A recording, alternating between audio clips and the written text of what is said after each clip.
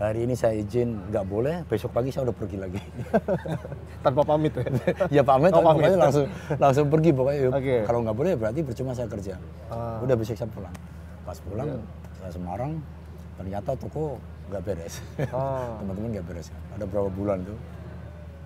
Akhirnya terus saya kerja di eh, maklar bus.